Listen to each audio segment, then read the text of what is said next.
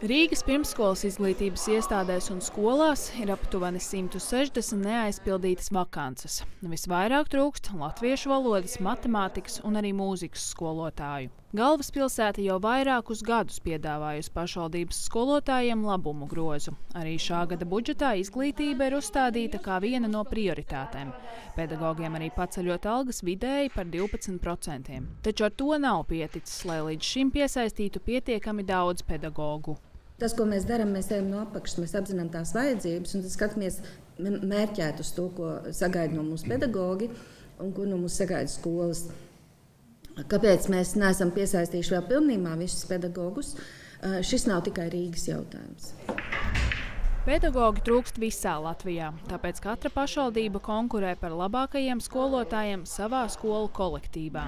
Katrs piesaistītais pedagogs, gan students, gan pieaugušais, kuram ir vajadzīga vien pedagoģiskās programmas izglītība, ir kā zelta vērts.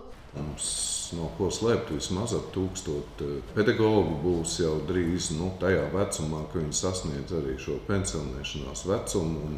Katrs šis pedagogs, kurš iziet ārpus sistēmas, arī viņa vietā ir vajadzīgs jauns.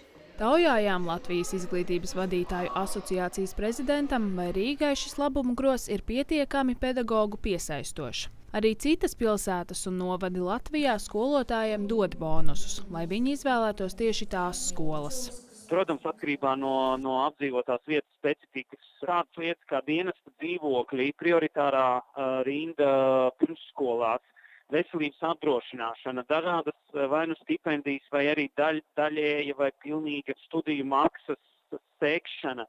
Šīs ir tās atbalsta lietas, kas ir vairākos novados, arī tā skaitā lielajās uh, citās valsts pilsētās. Primāri pedagogs savu darbu izvēlas dzīves vietas tūmā, uzsver Kalvāns. Vienlaikus galvaspilsētas iniciatīvu viņš vērtē atzinīgi izsakām tikai labus vārdus par to, ka pašvaldība ir proaktīva, negaida vasaru, negaida augustu, uh, gatavo pozitīvu augsni un, un lobē tiešām šo mūsu sektoru, skolu sektoru, apzinās problēmu nopietnību darba tirgu.